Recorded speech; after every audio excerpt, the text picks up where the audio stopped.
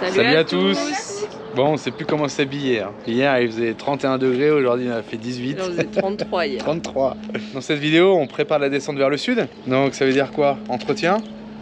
Gros entretien sur le camion, lavage, peinture, Vidange de boîte qu'on n'avait pas fait depuis. Et puis, vous allez voir la surprise avec la vidange de boîte. On a dû refaire. Les enfants vous filment aussi une petite expérience. Un grand merci à Aurélien, mon frangin, XTG Adventure, parce que c'était mon anniversaire. Donc, merci à lui pour la participation à la, à la chaîne YouTube. Et Et merci à Yves et Franck. merci à vous. Alors, bonne Bon vidéo visionnage. et à la À prochaine. bientôt. Ciao. Bienvenue sur la chaîne XCG Family où vous pourrez suivre notre aventure.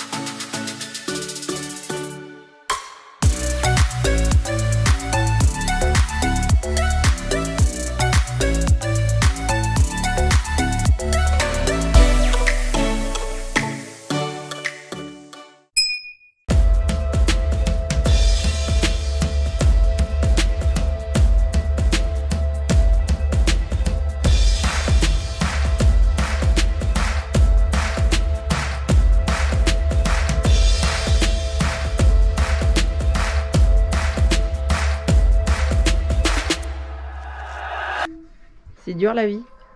moi qui fais quelque chose. Qu'est-ce que tu fais? Bah, je sais pas, j'ai déjà fait ça. la carte du monde sur un bout de bois qu'elle a trouvé dans une poubelle. Mais c'est bien fait, hein Ouais. Ça va les filles? Salut, c'est Manon Cuisto. non, mais pas ça, maman, sinon je te tue. On est en train de faire euh, de la gélatine avec du coca. J'avais vu ça sur une vidéo. Tout le monde le fait, alors je teste. Euh, j'ai mis du coca, de l'eau, et si ça marche pas, bah, je mettrai de la gélatine. Ça a l'air de un peu marcher. Et là, on est avec Nina et Zoé qui veulent jamais montrer leur tête. Et Alicia qui fait son singe. Et ceux qui disent que c'est du gâchis de nourriture, on va quand même le boire même s'il est chaud. J'ai versé le truc là-dedans, là, charabia. Et ça pue la mort. J'ai goûté, c'est dégueu. Et ben, on va le mettre au congèle pour voir. J'ai rajouté de la gélatine. Et si ça marche pas, bah, le faites pas chez vous. Et on va laisser ça pendant 10 minutes. 10 minutes. Et avant de vous montrer le résultat, bonjour. Oui, et là, du coup, on va vous montrer le résultat. C'est un désastre cette vidéo. Du coup, on l'a mis au congèle. Regardez la gélatine. On va voir avec une cuillère. On ouvre le tiroir. Et on va voir. Oups, je crois pas que c'est de la gélatine. On va couper Oh, Je crois que le résultat est bon. Et oui, ça a marché. 10 sur 10. Arrêtez de faire du bruit. Je suis en train de filmer là. Je suis maintenant la Cristo. On va voir maintenant. Waouh, que lindo. Et on va goûter. Hmm. C'est bizarre, mais. Et il y a tout le monde qui me regarde. Coupé C'est chelou quand même. Nina. Alors d'abord toi, C'est chelou, hein Ça pas, Mmh, non, c'est- ça pas vraiment du- le goût du coca.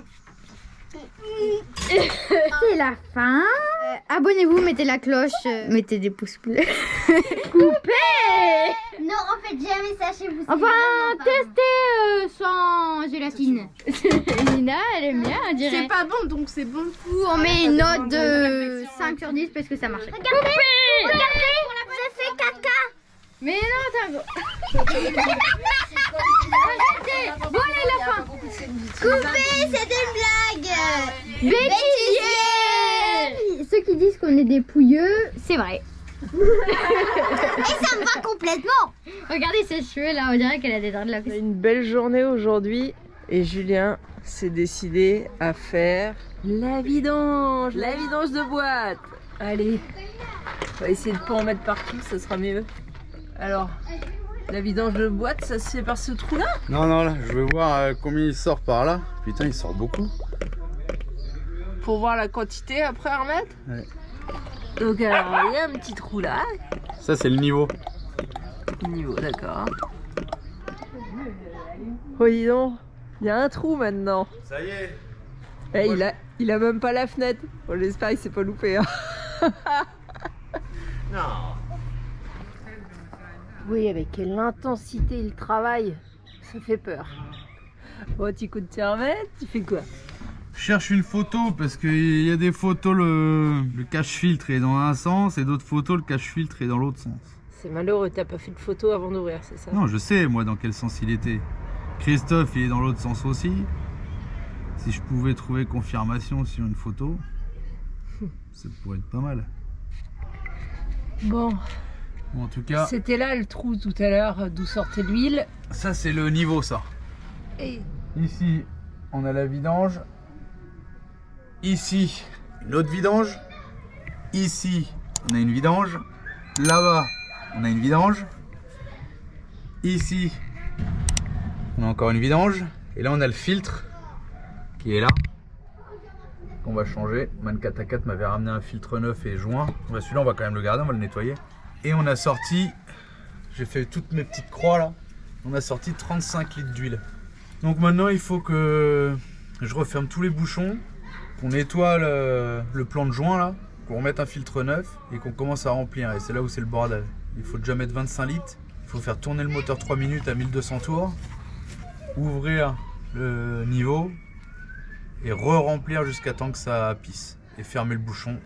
Et on va changer les deux évents, je pense, de boîte. On les, je les avais commandés, on va peut-être les changer. Il y en a un qui est accessible, l'autre, euh, je sais pas trop. Si on peut les changer, on les a. ça serait bien. Allez, on continue. alors, c'est là que va le filtre. Ouais. Et il y avait un joint du coup qui se baladait là, comme ça. Il est là, hein, en plusieurs morceaux parce que une espèce de joint en papier, en carton, je sais pas, du coup ça se déchire quand on l'enlève. Et ben maintenant, euh, des endroits où on voit où il reste, il reste du papier. Je vais gratter, euh, je sais pas, on va voir, je vais gratter ça. toi, Et merci à. Je suis désolé, j'ai plus ton prénom. Le bol aimanté. Bah, c'est bien pratique quand on bosse dans les graviers. hein. C'est clair. Oh, ça y est, Marie elle a gratté tout le joint bleu de ce côté-là là. Parce qu'il y avait un petit peu de joint bleu aussi. On va remettre un joint neuf, fermer le bouchon aussi celui-là. Celui-là il est refermé. Celui-là il est refermé. Celui-là il est refermé. Celui-là il est refermé. Et on va commencer au remplissage. Donc, le joint neuf et le filtre neuf. L'autre, on va le garder hein, parce que c'est du lavable. Donc, on va le garder aussi, mais on va changer. On va tout mettre tout neuf. Allez, le filtre. Allez, on met la patte qui le tient.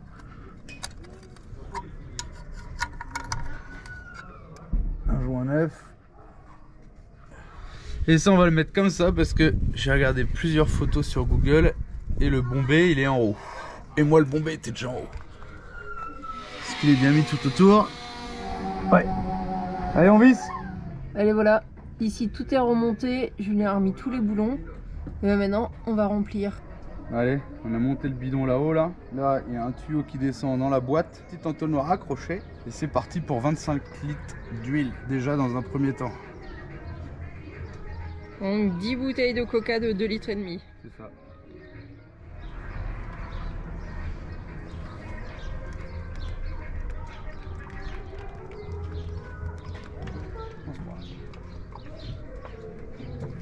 Je sais pas si vous le voyez en contrebas. L'endroit où ça se remplit. Donc on est entre la cellule et la cabine. Et il y a un accès sur le dessus de la boîte. Un petit bâton. Deuxième. Allez, on se concentre. Bon, on a mis les 25 litres d'huile à l'intérieur, moteur éteint. Ensuite, il fallait démarrer le camion, attendre un petit peu, ouvrir le bouchon, et là l'huile ne devrait pas couler. Remonter là-haut, remettre de l'huile jusqu'à temps que ça coule au bouchon de niveau derrière. Une fois que ça coule, on referme les deux bouchons remplissage niveau, et là on fait tourner pendant 3 minutes. On les met le compte à rebours à 1200 tours pour que tout le circuit se remplisse. Et ensuite, on met le moteur au ralenti, on rouvre le bouchon, et si ça coule pas, on remet de l'huile en haut. Donc là, on attend 45 secondes encore. Donc là, ça y est, on l'a mis au ralenti. J'ai renlevé le bouchon de remplissage. Marie elle renlève le bouchon de vidange. Et si ça coule pas, il faut qu'on remette de l'huile là-haut jusqu'à temps que ça coule.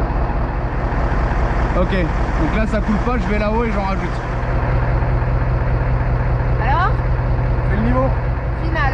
J'ai mis 35 moins euh, 2 litres 5, 32 litres et demi. Vous connaissez cette sensation quand on vient de finir quelque chose, qu'on est fier, ça nous est chier de le faire, c'est fait, on se dit ça y est, c'est fini. Et ben, revenons un peu en arrière.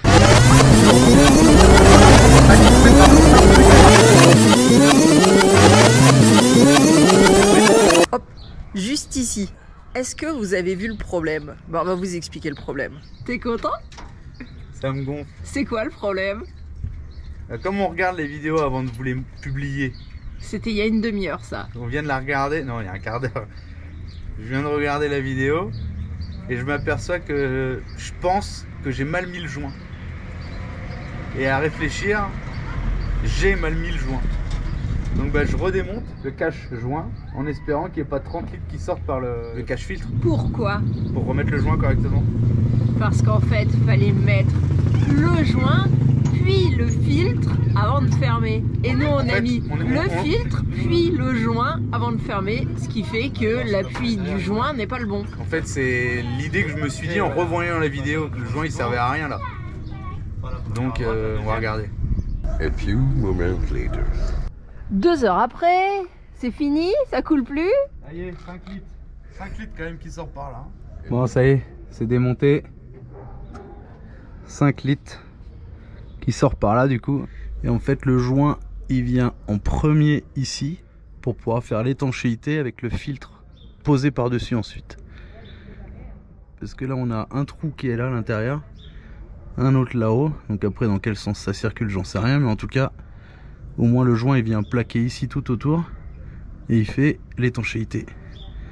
Sinon, bah, le filtre il sert à rien en fait. Allez, et là on vient remettre le filtre. Et là voilà, on est bien plaqué et on a bien notre, étanchéité.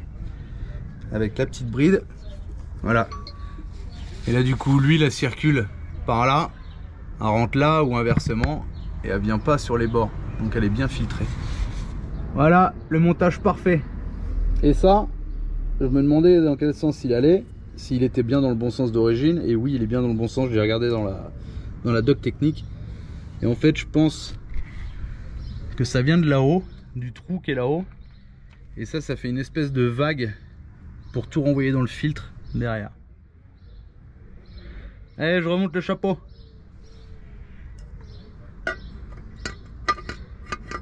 Allez, maintenant on vient remettre les 5 litres d'huile par le remplissage.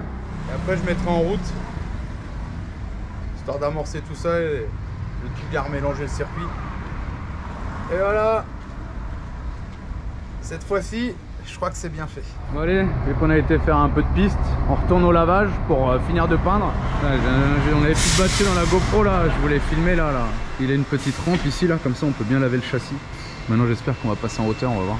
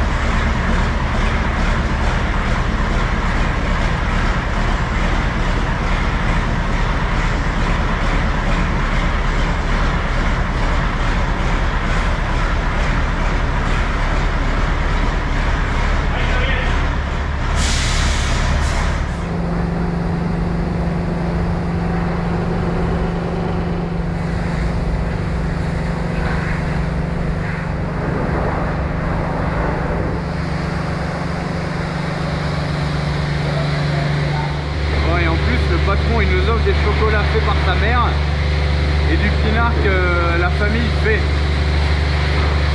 Spectaculaire. Allez, on les laisse laver. Qu'est-ce qu'on fait quand on s'ennuie?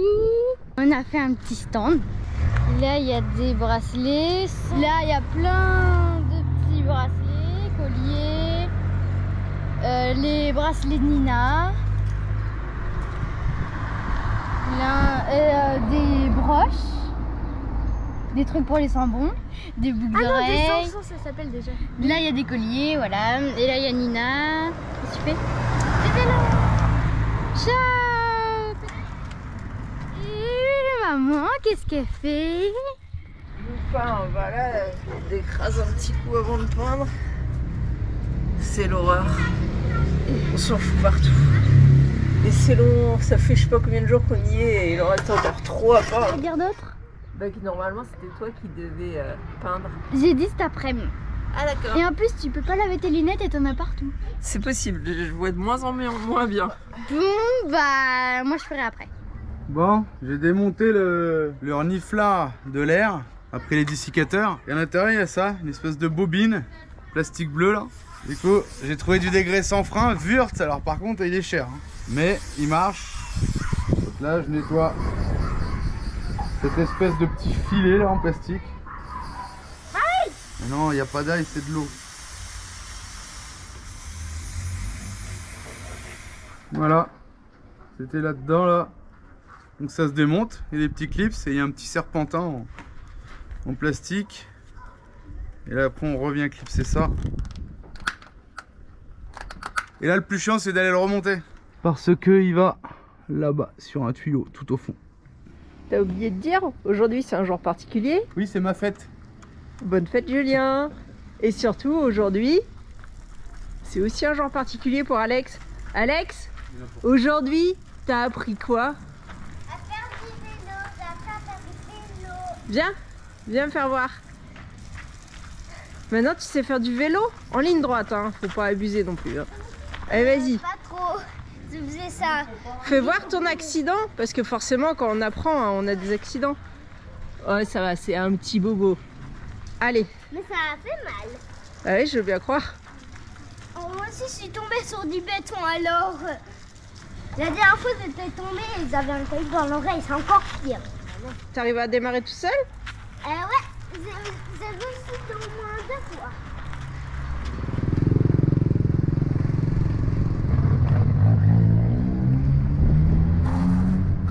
Voilà, c'était pas beaucoup, mais c'est pas mal. Allez, hop. Euh,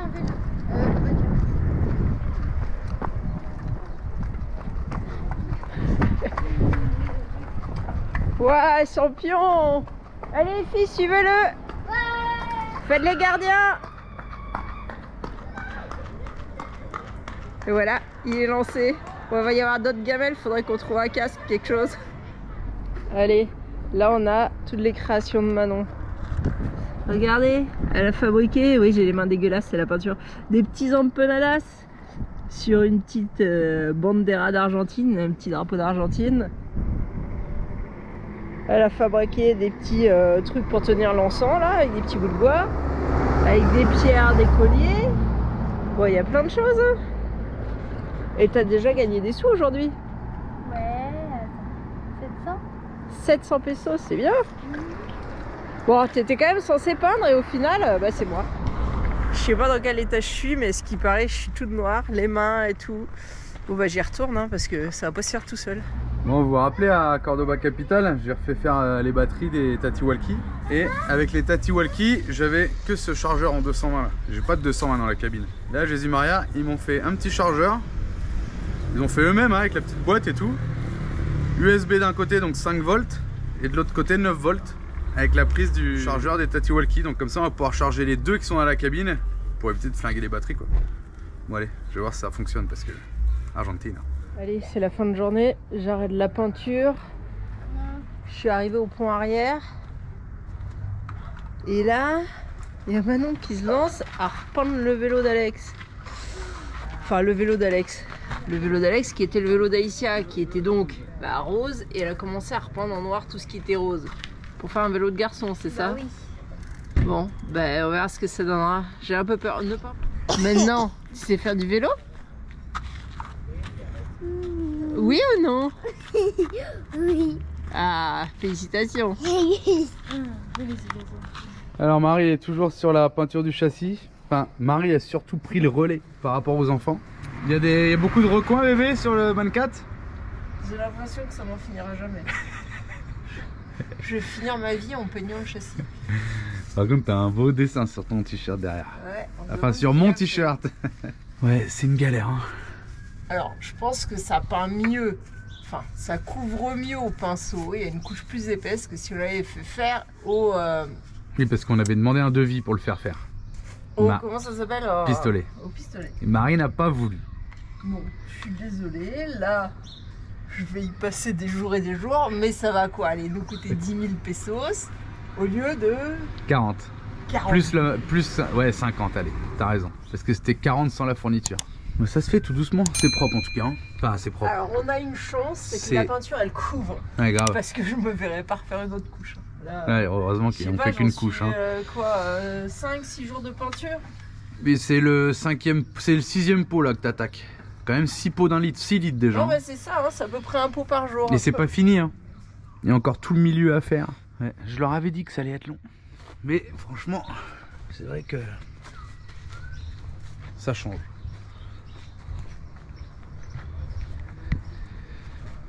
Qu'est-ce que vous en pensez? Mieux déjà. Là, faut que je vous montre. J'ai acheté une petite dashcam. Je suis en train de l'installer. Je suis en train de retirer des câbles. Je vous montrerai quand elle sera fixée quoi. Il nous reste toujours le gris à faire. Là, j'ai enlevé les caches sur les feux. Regardez, on dirait qu'ils sont neufs. Parce qu'ils sont jaunes. Je sais pas comment enlever le jaune. À mon avis, c'est mort. C'est dans la matière. Là, faut que je voie pour les plaques. Est-ce qu'on les laisse comme ça avec une sangle ou je fais un support? Je sais pas encore. Faut qu'on finisse de peindre l'arceau aussi. Encore beaucoup de choses. Hein. Regardez les caches. Ils sont tout jaunes.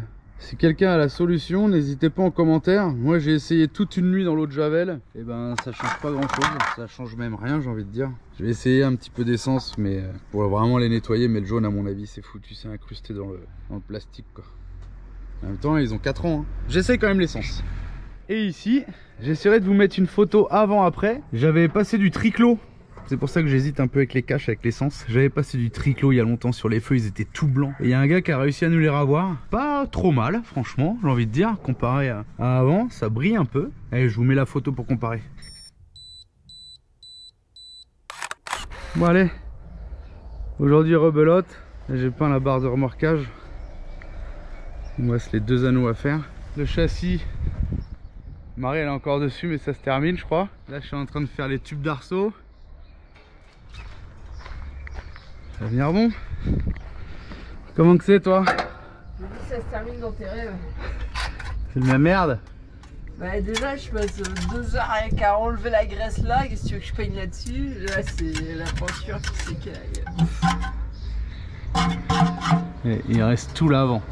Et après il faut que je passe derrière Marie avec une bombe pour quelques trucs. Tout le reste là. C'est beaucoup, beaucoup, beaucoup plus propre. C'est énormément de boulot. C'est pour l'instant 8 litres de peinture. Donc euh, il nous en reste un pot je crois, 9 litres on a. Je sais pas si on finira. Je pense qu'on finira avec 9 litres quand même. Et ensuite bah faut attaquer euh, tout le gris là. hein. Mais ouais ça, ça lui refait un coup de propre. Ah ouais il y a l'emplacement de la barre de remorquage à faire aussi. Mais non, c'est vrai que ça, ça change quoi, ça fait propre.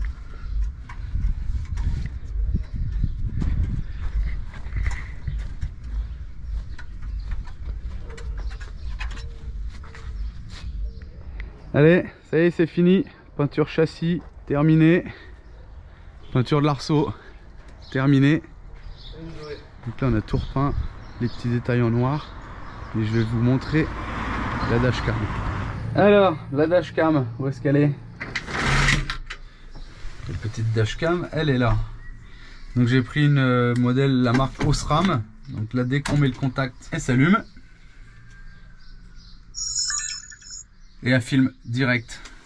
Donc je vous dis que ça peut être pas mal des séquences qu'on filme pas, des, des petites séquences inattendues qu'on pourrait récupérer, parce que ça filme en 1080, qu'on pourrait récupérer pour mettre sur la chaîne, ça peut être sympa. Et puis en cas de contrôle abusif, alors en Argentine on est tranquille avec ça, hein, ça risque pas, mais pour les autres pays, je sais pas. Je vous dis que ça peut être pas mal.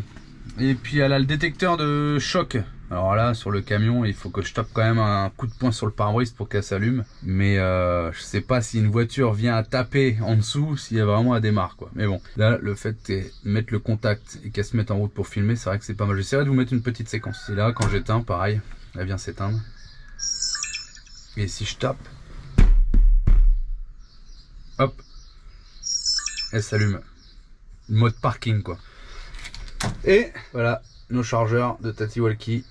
Donc ça c'est bien, ça charge en permanence. Là j'ai viré un peu tout le bordel là. J'ai remis euh, un autre euh, support allume-cigare ici qui charge les batteries de GoPro, tout ça. Donc comme ça c'est un peu caché, ça fait moins le bordel sur le tableau de bord. Allez, à bientôt pour la prochaine vidéo. Ciao En attendant la prochaine vidéo, vous pouvez aussi nous suivre sur Instagram et Facebook.